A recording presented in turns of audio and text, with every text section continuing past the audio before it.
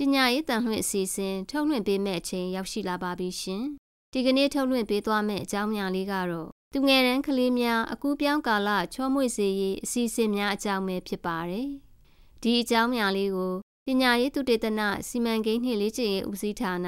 တင်ယုံညွန်းနှန်းဗဟိုဌာနမှ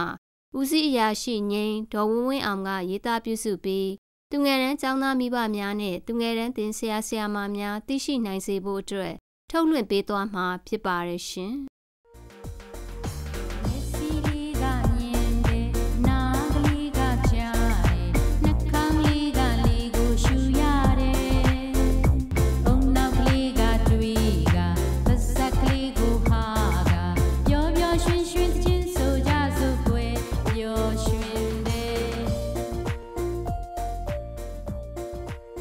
ဆရာမကြီးဝင်ခွင့်ပြုပါရှင်။ အော်ဟုတ်ကဲ့ကြွားပါရှင်။ထိုင်ပါဦး။ကျမဘာများကူညီပေးရမလဲရှင်။ဟုတ်ကဲ့ကျမကသူငယ်တန်းကចောင်းသားမိဘတူပါ။ကျမစိတ်ထဲဘွေမကြတာလေးနည်းနည်းလောက်ဆွေးနွေးခြင်းလို့ပါရှင်။အော်ဟုတ်ကဲ့ရပါတယ်ရှင်။ပုံမှန်လင်းလင်းသာဆွေးနွေးပါ။ကျမလည်းတက်နိုင်သမျှရှင်းပြပေးပါမယ်။ဒီလိုပါဆရာမကြီးရဲ့ကျမသားကသူငယ်တန်းမှာပါ။အခုဆိုကျောင်းဖွင့်တာနှစ်လရှိပြီ။ကျမသားစာအုပ်ထဲမှာဘာစာမှပါမလာပါဘူးဆရာမကြီးရဲ့။မေးလိုက်ရင်လည်းဒီနေ့ကစားရတယ် ပုံမြင်နားထောင်ရတယ်ကြပြဆိုရတယ်ဆိုတာကြီးပဲသူ့ဆီယာမကိုမေးတော့လေသူငယ်တန်းကစာမတင်ရဘူးလို့ပြောပါတယ်ကျမတို့မိဘတွေအနေနဲ့ကတော့ကို့သားသမီးကိုစာတက်စေခြင်းလို့ကြောင်းထားကြတာဆိုတော့စာအုပ်ထဲမှာစာပါလာစေခြင်းတာပေါ့ဆရာမရဲ့ဒီကိစ္စကမိဘအတော်များများနားမလည်နိုင်ကြသေးတဲ့ကိစ္စဖြစ်နေတာလေကျမတို့ဘက်ကလည်းမိဘတွေကိုတွေးဆုံပွဲလေးလုပ်ပြီးဒီကိစ္စကိုရှင်းမယ်ရှင်းမယ်နဲ့မရှင်းပြနိုင်သေးတာဟောအတော်ပဲပြောရင်းဆိုရင်နဲ့သူငယ်တန်းကဆီယမလာနေပြီ ကဲဆီယမကြီးထိုင်မအောင်ဒီမှာဆီယမရဲ့သူငယ်တန်းကအကြောင်းသားမိဘကစာမတင်တဲ့ကိစ္စကိုလာမင်းနေတယ်လေစာအုပ်ထဲမှာလဲစာပါမလာလို့တဲ့ဆီယမကပဲအသေးစိတ်ရှင်းပြပေးပါဦးဆီယမကြီးနဲ့မိဘတွေတွေ့ဆုံဝဲကြမှတေချာရှင်းတော့မယ်ဆိုပြီးတော့ကျမမပြောပြသေးတာပါဒီလိုပါမိဘတွေကိုသိစေချင်တာကကျမတို့သူငယ်တန်းကလေးတွေကျောင်းကိုရောက်ခါစားမှာဖြစ်တတ်တဲ့စိတ်ပိုင်းဆိုင်ရာခံစားမှုတွေလျော့ပါစေခြင်းလို့ ခုလောလောဆယ်ပျော်စရာလုပ်ငန်းလေးတွေကိုပဲလုပ်ပေးနေတာပါကလေးတွေကအိမ်ကနေကျောင်းကိုရောက်လာကြတဲ့အခါသူတို့နေသားကြနေတဲ့အိမ်သူတို့ကိုချစ်တဲ့သူတို့ကချစ်တဲ့မိသားစုဝင်နဲ့ခွဲခွာလာကြရတယ်လေတခါမှမရောက်ဘူးတဲ့ပတ်ဝန်းကျင်မှာတခါမှမတွေ့ဘူးတဲ့လူတွေနဲ့တွေ့ရတယ်အဲ့ဒီအပြောင်းလဲကသူလိုလေးတွေအတွက်ကြီးမားတဲ့ခံစားချက်ကိုဖြစ်စေပါတယ်အိမ်မှာဆိုလွတ်လွတ်လပ်လပ်ကစားလို့ရတယ်စားကျင်တဲ့အချိန်စားလို့ရတယ်။ ကျောင်းကိုရောက်တဲ့အခါဟိုဟာမလုပ်ရဘူးဒီလိုနေရမယ်စတဲ့သတ်မှတ်ချက်တွေများလာတာနဲ့အမျှသူတို့အတွက်စိတ်ဖိစီးမှုကိုဖြစ်စေပါတယ်။သူတို့အသက်အရွယ်ရဆိုရင်အဲ့ဒီလိုစိတ်ဖိစီးမှုတွေကိုဘယ်လိုမှခံနိုင်ရင်မရှိကြပါဘူး။ဒါကြောင့်လဲကျောင်းဖွင့်စားမှငိုမယ်နေရာမှာပဲအပေါ့အလေးသွားမယ်ဘယ်သူနဲ့မှစကားမပြောဘဲနေမယ်မိသားစုဝင်တွေကိုခေါ်ပေးဖို့ပဲပူဇော်မယ်စတဲ့အပြုတ်မှုတွေပြုလုပ်တတ်ကြပါတယ်ကျမသားကတော့အဲ့လိုမငိုဘူးဆီယမ အမကြီးရဲ့သားမူကြိုတက်ထားတာလေအခြားကလေးတွေတော့သူကဒီအကူအပြောင်းခံစားမှုခံနိုင်ရင်ရှိနေတာပေါ့ကျမကကြတော့မူကြိုတက်ထားထားမထားထားကလေးအလုံးကိုတပြေးညီကြောင်းပြော်လာအောင်အရင်ဆောင်ရွက်ပေးဖို့တာဝန်ရှိပါတယ်ကျမတို့သူငယ်တန်းမှာကျောင်းကိုရောက်ခါစားမှာကျောင်းပြောအောင်စီကံတကြပြောဆိုနေထိုင်တတ်အောင်အရင်ပြင်ဆင်ပေးရတာပါဒါကကလေးတွေခံစားနေရတဲ့စိုးရိမ်ပူပန်မှုတွေကိုအရင်လျှော့ချပေးတဲ့သဘောပါပဲနောက်ပထမတန်းကိုရောက်တဲ့အခါ ပုံစံတကျရေးတတ်ဖတ်တတ်အောင်ပြင်ဆင်လေ့ကျင့်ပေးရပါတယ်ဒါကတော့ပထမတန်းကိုရောက်တဲ့အခါဆောင်ရွက်ရမယ့်ရေးချင်းဖတ်ချင်းတွေကိုအခက်အခဲမရှိအောင်လှုပ်ဆောင်တတ်ဖို့ရည်ရွယ်ပါတယ်ရှင်ဒါဆိုစာတော့တင်ပါပေါ့နော်ဆရာမအမကြီးနားလည်ထားတဲ့စာတင်နေဆိုတာဘယ်လိုမျိုးလဲရှင်ဟိုကာကြီးခါခွေရေးတာဖတ်တာပေါ့ဟုတ်ကဲ့စာရေးဖို့စာဖတ်ဖို့ဆိုတာကအဲ့ဒီအဆင့်ကိုရောက်ဖို့လေ့ကျင့်ပြင်ဆင်ရတဲ့အဆင့်တွေရှိသေးတယ်ရှင်ဥပမာ အရင်ဆုံးကလေးရခဲတံကင်တတ်ရအောင်မယ်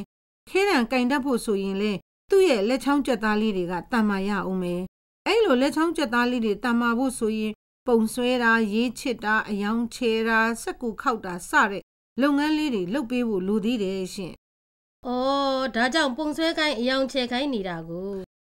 ဟုတ်ကဲ့ပါဒါတွေမကသေးဘူးရှင်အများနဲ့လိုက်လောညီထွေနေတတ်ဖို့ စီကံလိုက်နာတတ်ဖို့စတဲ့အခြေခံကျွမ်းကျင်မှုတွေကလည်းလိုသေးတယ်။ဒါတွေကိုလည်းကျမတို့ကပုံပြောရင်အချင်းချင်းစကားပြောရင်ကစားရင်းကနေတင်ယူသွားစေတာပါ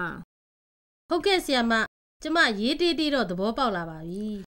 ကလေးတွေကသူတို့နဲ့ရင်းနှီးပြီးတက်တောင့်တက်တာရှိတဲ့ပတ်ဝန်းကျင်မျိုးမှာပို့ပြီးတင်ယူဖွံ့ဖြိုးကြတဲ့သဘာဝရှိပါတယ်။ဒါကြောင့်ကျောင်းကိုရောက်လာကစားမှာစီမင်းစည်းကမ်းတွေအတိုင်းချက်ချင်းပြောင်းလဲနေထိုင်ခိုင်းတာ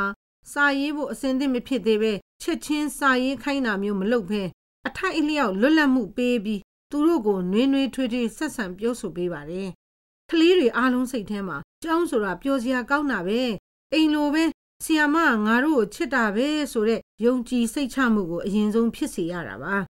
အချို့ကလေးတွေကရင်းနှီးမှုမရှိတဲ့နေရာမှာချက်ချင်းနေသားမကြနိုင်ဘူးလေသူတို့နားမှာသူတို့ချစ်တဲ့သူတွေမရှိတော့ဘူးဆိုတဲ့ဝင်းနေအငင်စိတ် သူတို့ကိုကြောက်မှထားခဲ့ပြီးငါတို့ကိုလာမခေါ်ပါမလားဆိုတဲ့စိုးရိမ်ပူပန်စိတ်တွေကိုစိတ်ထဲမှာအတော်ကြာကြာခံစားနေရတတ်ပါတယ်ဒီလိုအကူပြောင်းကာလတွေမှာကလေးတွေရဲ့ခံစားချက်တွေကိုကျမတို့ကနားလည်ပေးမှသာသူတို့တင်ယူမှုကိုကျမတို့ကူညီပံ့ပိုးပေးရကြတာပါဟုတ်ကဲ့ဆက်ပြောပါအောင်ဆီယမဒါကြောင့်ကျမကကျမကလေးတွေနှစ်ကုန်တဲ့အခါပထမရန်ကိုအလွယ်တကူစိတ်တက်တက်တာတာနဲ့တက်ရောက်တင်ယူနိုင်စေဖို့တဆင့်စီလေ့ကျင့်ပေးသွားမှာပါ ချက်ချင်းစာရေးခိုင်းနေဆိုတာကလေးအတွက်တော့အင်မတန်ရစ်စရာကြပါတယ်ကလေးရဲ့ဖွံ့ဖြိုးမှုအတွက်လည်းတိတ်ကိုလွဲမားတဲ့အချက်ဆိုတာမိဘတွေနားလည်ထားစီချင်ပါတယ်ရှင်ဒါဆိုရင်နောက်ဆုံး3လမှာတော့စာရေးတာစတင်ရပြီထင်တယ်နော်ဆရာမ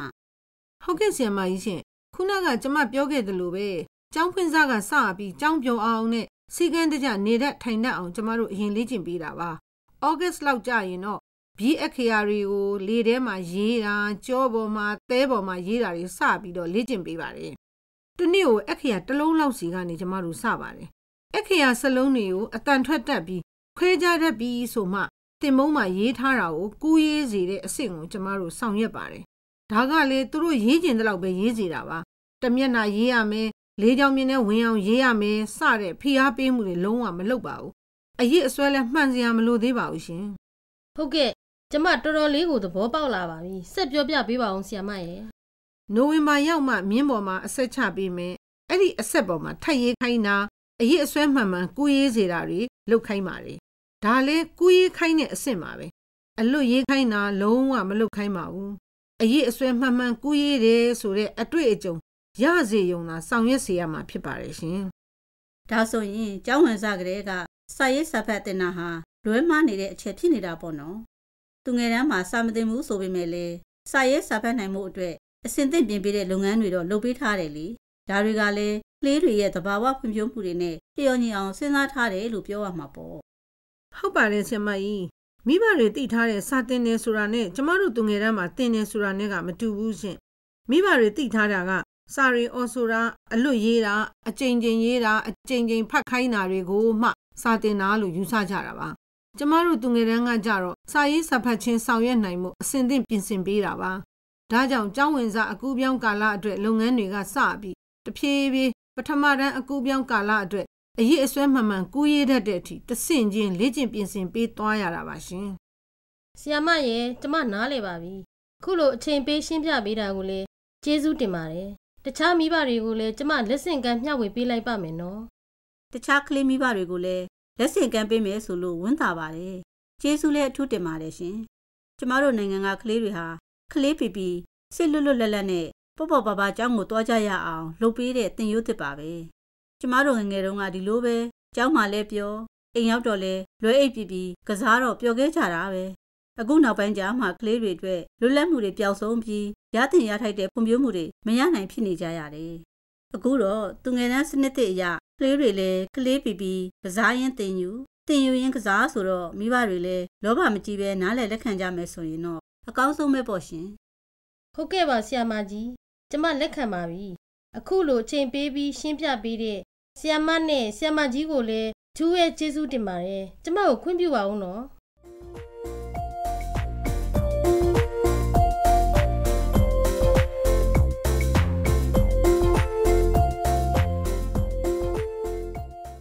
အကူးထုတ်လွှင့်ပေးခဲ့တဲ့သူငယ်တန်းကလေးများအကူးပြောင်းကာလချောမွေ့စေရေးအစည်းအဝေးများအကြောင်းကိုနားထောင်ပြီးမိဘများကလည်းတင်ရိုးသည့်အကူးပြောင်းကာလတင်ကြားတင်ယူမှုပုံစံကိုသိရှိနားလည်ပြီးပူးပေါင်းပါဝင်နိုင်ကြပါစေလို့ဆန္ဒပြုလိုက်ပါရရှင်။ဒီအစည်းအဝေးမှာစာရေးသူနဲ့အတူကျောင်းပြင်ပနဲ့တသက်တာပညာရေးဦးစီးဌာနမှဒုတိယညွှန်ကြားရေးမှူးဒေါ်တင်တင်သန်းနဲ့လက်ထောက်ညွှန်ကြားရေးမှူးဒေါ်မြင့်မြင့်စိုးတို့က ပါဝင်ဆွေးနွေးပေးထားတာဖြစ်ပါတယ်ရှင်။